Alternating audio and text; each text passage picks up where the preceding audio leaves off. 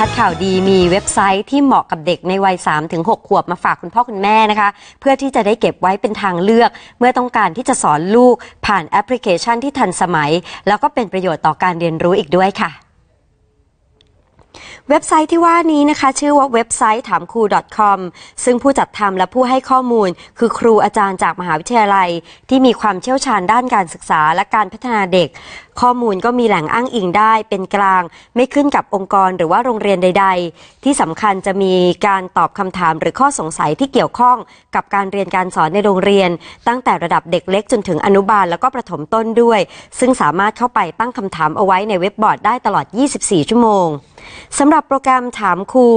Kindergarten Aptitude Test หรือว่า TKAT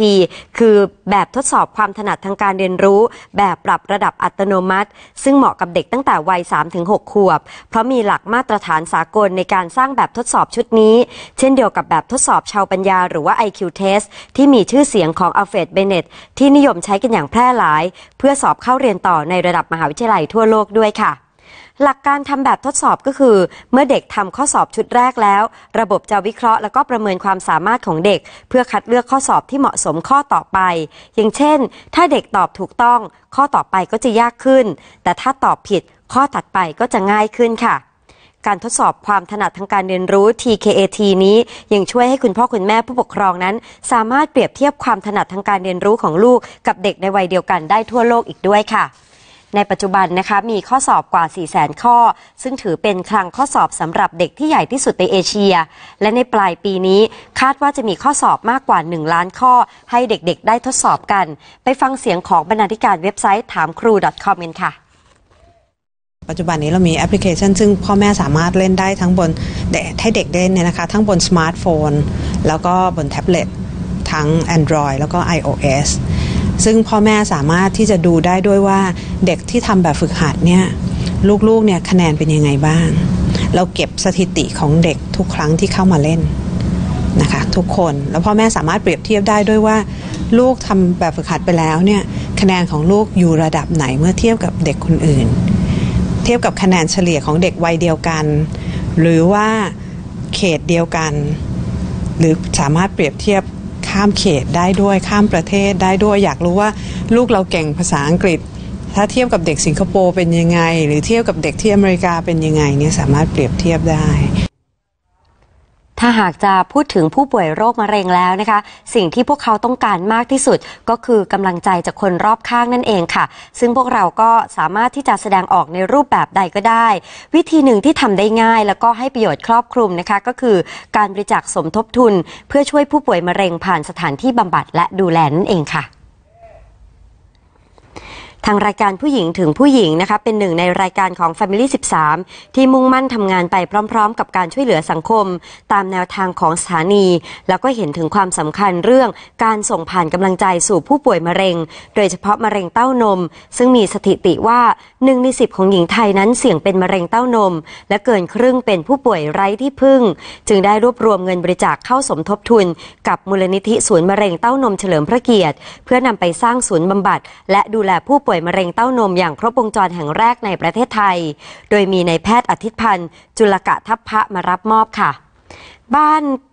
พิงพักหรือว่า Pink Park Village ที่กำลังจะสร้างเพื่อผู้ป่วยมะเร็งเต้านมนี้ จะเป็นที่พักพิงสำหรับผู้ป่วยมะเร็งเต้านมระยะสุดท้าย ที่นอกจากจะช่วยดูแลรักษาแล้ว ยังจะทำให้พวกเขาได้มีโอกาสหายใจยังมีความสุข แล้วก็มีคุณภาพชีวิตที่ดีหลังจากรับการรักษา แม้ว่าจะไม่มีทุนทรัพย์ก็ตาม บ้านหลังนี้นะคะ สร้างบนพื้นที่กว่า 129 ไร่ย่านมินบุรี บนแนวคิด หมู่บ้านในสวนเรียบง่าย แวดล้อมด้วยธรรมชาติ คล้ายๆ กับอยู่บ้านของตัวเอง ซึ่งต้องใช้งบประมาณมากกว่า 500 ล้านบาทเลยทีเดียวค่ะเพราะว่าไปโรงพยาบาลก็มักจะมีพื้นที่ไม่เพียงพอออยู่ที่บ้านญาติก็จะมีประสบปัญหาที่จะดูแล เพราะฉะนั้นเนี่ยส่วนนี้จะเข้ามาเป็นจุดที่ช่วยนะครับ ถามว่าเราสามารถที่จะ รับได้หมดหรือเปล่าก็คงจะไม่นะครับ แต่อย่างน้อยเนี่ยถ้าเป็นจุดเริ่มที่เราทำเนี่ยให้ดูเป็นตัวอย่างว่าอันเนี้ยเราสามารถช่วยเขาได้ในช่วงสุดท้ายของชีวิต อย่างน้อยก็มีความสุขเหมือนกับว่าเขาได้อยู่ในบ้านเขาเอง ไม่ใช่ว่าเขาก็ถึงจุดหนึ่งแล้วก็ไม่รู้จะหันไปพึ่งใครตรงไหน สำหรับคุณผู้ชมที่อยากจะเป็นหนึ่งในกำลังใจนะคะ ก็ร่วมบริจาคเพื่อสร้างบ้านพิงพักได้ โดยการซื้อเข็มกลัด Get Pink Pin เสื้อยืด Get Pink หรือว่าบริจาคผ่านธนาคาร โดยการฝากเงินหรือว่าโอนเงิน ที่บัญชีชื่อ มูลนิธิศูนย์มะเร็งเต้านมเฉลิมพระเกียรติ ธนาคารไทยพาณิชย์ สาขาสภากาชาติไทยบัญชีออมทรัพย์ เลขที่บัญชี 045ขีด492 405ขีด0ที่ขึ้นอยู่บนหน้าจอในขณะนี้นั่นเองค่ะ มาปิดท้ายกันที่คุณย่าชาวสหรัฐวัย 71 ปีนะคะ เธอก็เป็นหนึ่งในผู้ป่วยที่กำลังต่อสู้กับโรคมะเร็ง ด้วยคีโม ก็ใช้วิธีการสร้างกำลังใจให้กับตัวเอง ด้วยการใช้เวลาว่างถักไหมพรม เพื่อนำมาใช้แทนวิกผม หรือว่าใส่แทนหมวกนั่นเองค่ะ คุณย่าโรสแมรี่นะคะเป็นคนหนึ่งที่ไม่ยอมแพ้ ถึงแม้ว่าจะเป็นโรคมะเร็งรังไข่ ซึ่งเมื่อปีที่แล้วค่ะ คุณย่าถักไหมพรมสีแดงสดนี้ ใช้เป็นวิกผม สวมใส่ในงานเทศกาลฮาโลวีน จากนั้นคุณย่าก็ตัดสินใจใส่วิกอันนี้มาเรื่อยๆ หลังจากที่ผมของเธอนั้นเริ่มร่วงลงไปจากการใช้เคมีบำบัด แม้ว่าคุณย่าจะต้องเผชิญกับความเจ็บปวด และต้องต่อสู้กับโรคร้าย แต่ก็ยังคงยิ้มแย้มสดใส และก็ดูมีความหวัง ซึ่งเมแกนโชนหลานสาวนั้น ได้นำภาพของคุณย่ามาเผยแพร่ตามโซเชียลมีเดียต่างๆ ถึงการใช้เวลาว่างและผ่อนคลายนี้ว่า วิกไหมพรมสีแดงที่เธอใส่อยู่ ถักเสร็จตั้งแต่ปีที่แล้ว และเธอก็ยังคงใส่มันอยู่เสมอค่ะ สดใสมากเลยนะคะ ก็เป็นกำลังใจให้กับผู้ป่วยทุกๆทท่านด้วยค่ะ หมดเวลาแล้วสำหรับคัดข่าวดีในค่ำวันนี้นะคะ คุณผู้ชมสามารถที่จะแนะนำติชมรายการของเราได้ผ่านทาง อีเมลของเรานะคะ treefamilynews@gmail.com แล้วก็ทางไลน์ด้วยค่ะไลน์ ID ของเรา treefamilynews และสามารถรับชมรายการสด และรายการย้อนหลังของครอบครัวข่าวจากทั้ง 4 สถานี ไม่ว่าจะเป็นช่อง 3 Original ช่อง 3 Family หมายเลข 13 ช่อง 3 SD หมายเลข 28 และช่อง 3 HD หมายเลข 33 ผ่านทาง www ครอบครัวข่าว .com และแอปพลิเคชันครอบครัวข่าวด้วยนะคะค่ำนี้ดิฉันสัสิชารัตนถาวร พร้อมด้วยทีมงานคัดข่าวดีทุกคนลาไปก่อนแล้ว สวัสดีค่ะ Thank you.